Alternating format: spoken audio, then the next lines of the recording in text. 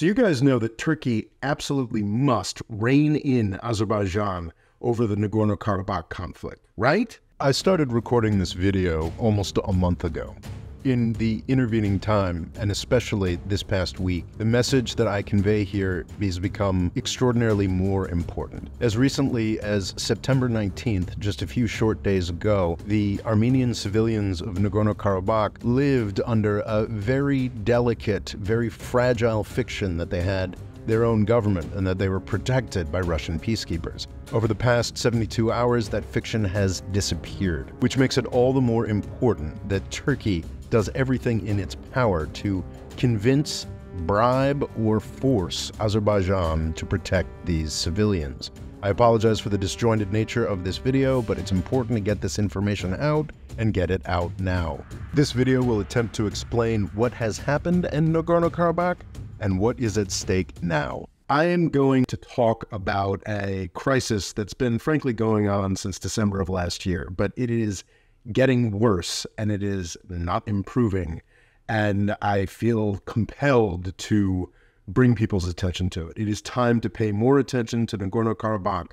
And at this point, what Azerbaijan is threatening to do is starve to death a population of 120,000 people. As many as 120,000 people, that may be high, but still, tens of thousands, 100,000 people being starved to death by Azerbaijan. I think it's critical for me to say this because if you recall my coverage from 2020, I am not your typical Western, like, rah, rah, go Armenia, like, you know, only using Armenian diaspora information guy. In 2020, I never support any war. I did not support the Azerbaijan war. But what I did point out in 2020 and believe very firmly is that Armenia was more at fault in the conflict in 2020.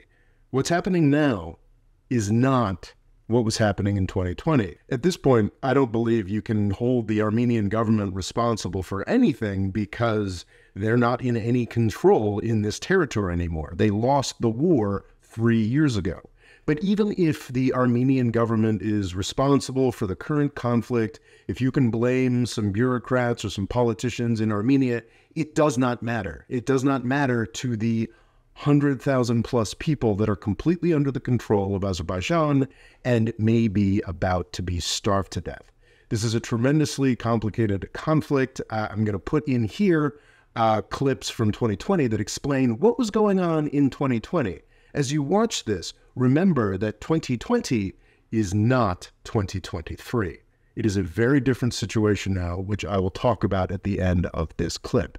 This is Nagorno-Karabakh. It is home to roughly 150,000 Armenians. In Soviet times, it had an autonomous political organization within the Azerbaijan Republic. Azeris hate this, but most of the world seems to agree that some sort of Nagorno-Karabakh autonomy makes sense. But that's not the only Azerbaijani territory that Armenia occupies. With the very name we use to refer to this conflict, we have minimized the suffering of the people who used to live here. In doing so, we minimize the largest post-Cold War ethnic cleansing you have never heard of. The lowest estimate I have seen, compiled by an Armenian researcher, holds that 364,000 Azeris were forced out of these regions as Armenia won the war in the 1990s. The New York Times puts the figure at 600,000 people. So that's two to four times as many people as live in Nagorno-Karabakh today. These territories have been converted to a barren wasteland as its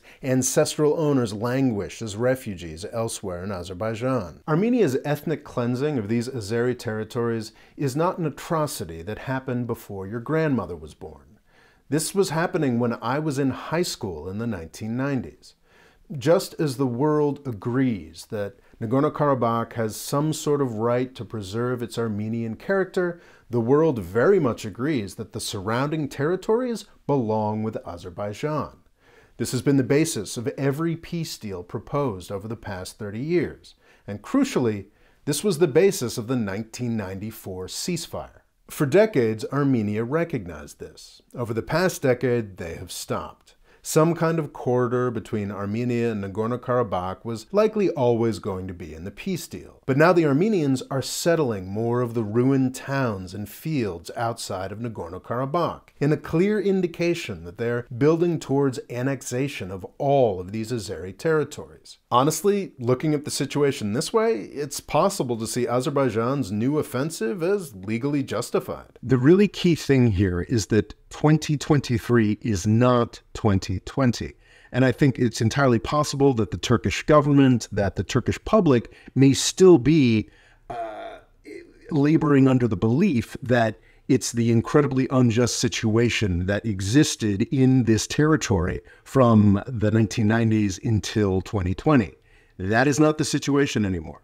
Azerbaijan, much more powerful than Armenia. In the 1990s, Armenia was much more powerful than Azerbaijan, but because of 30 years of petro wealth, Azerbaijan is now much more powerful than Armenia.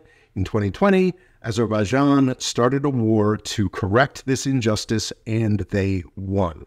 Uh, Armenia has been cleared out entirely from the provinces that were ethnically cleansed by Armenia in the 1990s. Azerbaijan won. The question now is not what happens to the issues between Armenia and Azerbaijan. Those have largely been settled. The Second Nagorno Karabakh War took place over 44 days in 2020, and Armenia lost entirely. All of the occupied territory it once held in Azerbaijan is now back in Azeri hands. The war ended when it seemed like the Armenian enclave within Azerbaijan was about to be conquered entirely, prompting Nagorno Karabakh and the Armenians to sue for peace. The agreement was that the Armenians would be allowed to live with some degree of autonomy not fully settled at that point, within Nagorno Karabakh, protected by Russian peacekeepers. This was actually a very elegant solution from the Azeri standpoint. They got complete victory, and the Azeri dictator could say that it wasn't his fault that they didn't take Nagorno Karabakh. It was the international community and the Russians. And that also saved both Azerbaijan and their Turkish sponsors from the very real risk of committing a horrific war crime, forcing those Armenians out. It was a pretty good solution for everybody.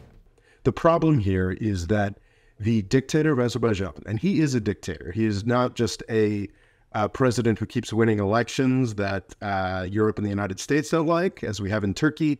The guy in Azerbaijan is a hereditary dictator who has won everything that he needed to win. And now he thinks he can just push it further and further and further. And he is risking, in doing that, hanging an incredible crime around the necks of his people and also the Turkish people, because I think the connection between Turkey and Azerbaijan is often overstated, but both the Azerbaijani and Turkish leaders love to talk about it. So this crime that may be about to be committed will be hung around the necks of Turkey and Turks as well. Azeri dictator Ilham Aliyev's almost complete victory in 2020 was not enough for him. What little legitimacy he has is based on his decades of fighting Armenia and fighting Armenians. Much like the US security establishment after the Cold War, he doesn't want to stop fighting a politically profitable war just because it's over using the distraction of Vladimir Putin's idiotic invasion of Ukraine, Aliyev started to put more and more pressure on Nagorno Karabakh across 2022. In December of 2022, he opted to completely shut off the Lachin corridor. This is the vital source of humanitarian supplies and really anything that Nagorno Karabakh wants to get from Armenia. It was closed down first through uh, variety of ruses, and then quite directly by the Azeri military. That's where things stood in August when I started recording this video. Then, earlier this week, in a not too surprising surprise attack, Azerbaijan launched an all out assault on Nagorno Karabakh. What was left of the autonomous government and security forces capitulated quickly. Azerbaijan is now in complete control of this territory and complete control of the lives of the tens of thousands of people who live there. Armenia has lost, and the Armenian leader is eagerly talking to the Azerbaijani leader from like a position of subservience. This war is largely over. The question today is the 100,000 plus people in Nagorno Karabakh entirely under the control of Azerbaijan and at risk of being chased out of homes their families have held for at least a century, if not for centuries. Uh, I would not use this term yet, but people in respected people around the International Criminal Court and in sort of international governance circles are now using the term genocide. I personally wouldn't use that yet, but I don't think it is a unfair way to characterize this. I think it is something that could become a genocide. And I think too many people in Turkey, too many people in Azerbaijan are thinking about this conflict as if it's the status quo from the 90s to 2020. Um, again, this is not about the Armenian government. This is not about past injustices. This is about 100,000 plus people that could be killed or ethnically cleansed that will hang over the heads of Azerbaijan and Turkey internationally for decades to come if this is allowed to happen. This is something to take very seriously. Now, why am I blaming this on Turkey? I'm not blaming this on Turkey. Why am I saying that it's Turkey that has to step and step up and do something about this? I'm saying this because unfortunately, absolutely nobody else will. The, the, the sad fact is that Azerbaijan, thanks to a number of geopolitical factors, has gotten itself into a position of such privilege that while the European Union and the United States will have endless meetings and try to coordinate positive action and this, that, and the other thing, they're never actually going to dictate to Azerbaijan's dictator and tell him that he needs to lay the F off. That's not going to happen because of the war in Ukraine. Russia traditionally had a huge uh, footprint in this region. It was Russia that stepped in in 2020 after the Armenians had lost to defend that enclave of Nagorno Karabakh.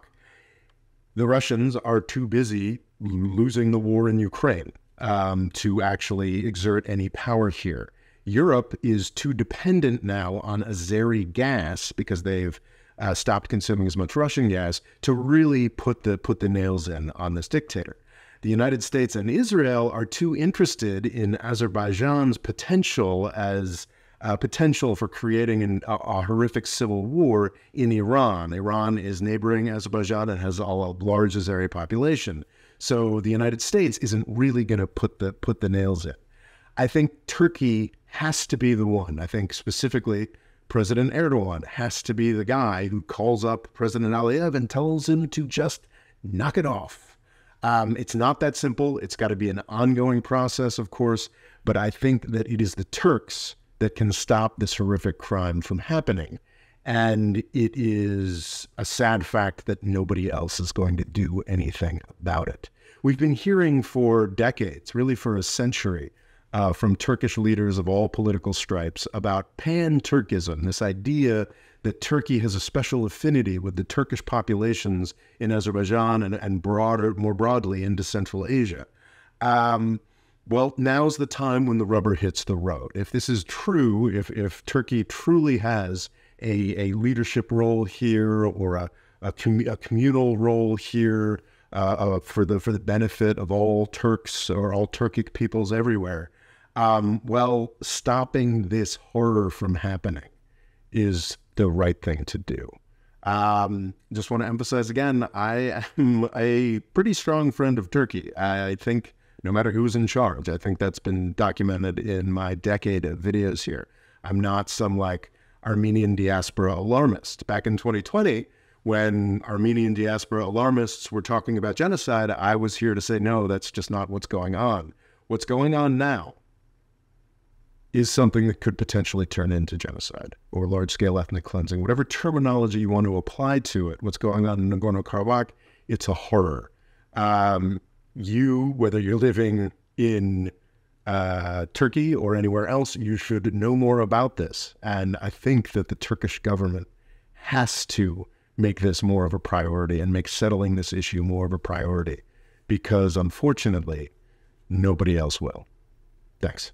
Thanks for watching. Please subscribe. And have I mentioned recently that I have an email list? If I lose access to any of these platforms, it will be the only way for me to reach my audience. Please do sign up either at the link here or the link in the video description.